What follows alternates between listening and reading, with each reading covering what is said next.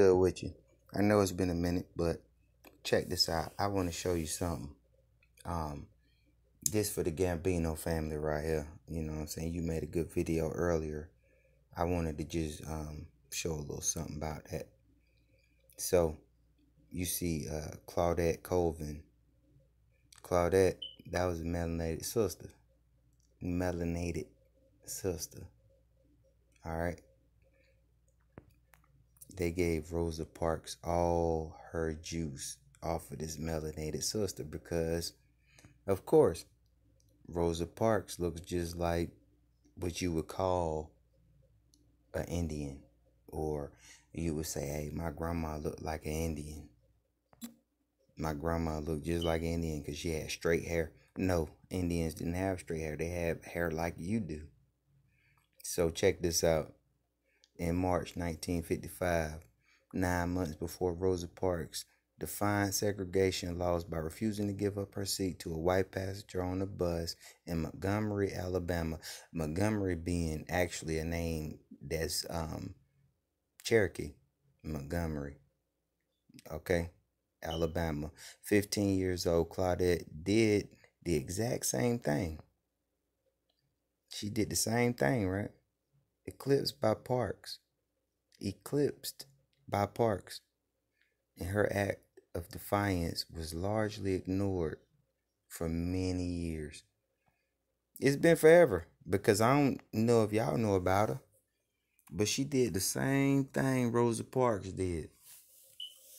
I'm gonna tell you, Rosa Parks, she went to college, man. She was in a sorority. That's how the shit go. You have to get in the sorority or fraternity to turn your back on your people. Why you think you got to do that to get in any sports?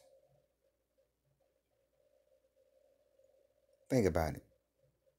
In all sports, you gotta when you enter any sport, it's it's a big fraternity, sorority. If you in the WNBA, I mean, a lot of those is dudes you know what I'm saying? I mean, just be real.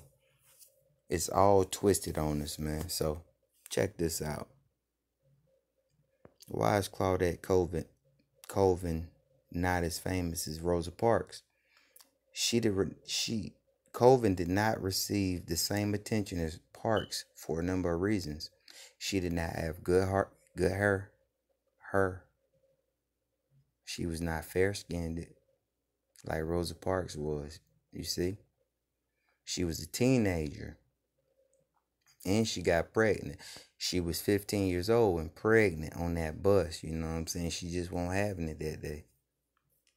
The leaders in civil rights movements tried to keep up appearance and make sure the most appealing protesters was most seen. So Rosa Parks was appealing. Excuse me for you know, my speech right now. I'm in a lot of pain, man, but I I got to do this. So this is the person that actually did it. She don't get no credit. Not a tad bit. But this is the woman. She looking more like our grandparents and stuff, right? Rosa Parks, that was homegrown. This was nine months later. Rosa Parks was nine months after. They was like, okay, we got something. Maybe we should just rock with it. Who want to do it?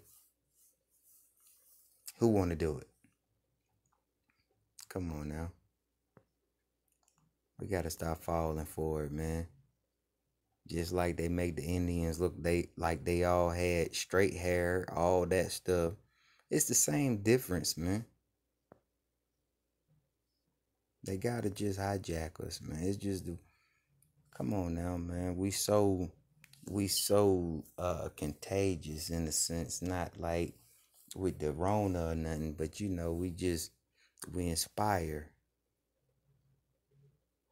We inspire. And then they always put somebody out there to take the credit for us, right? So this is the real Rosa Parks. it's a real deal. 15 and pregnant. Probably was married at dang 15 too. Back in them days. Yeah. They tried to tell her to sit in the damn back. She said, nope.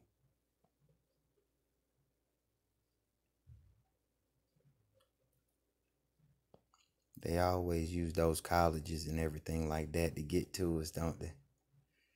They think they getting our smartest people, you know, because these the people that's getting that higher education with quotations. The higher education is not. It's not. It's higher indoctrination. But yeah, I get back with you.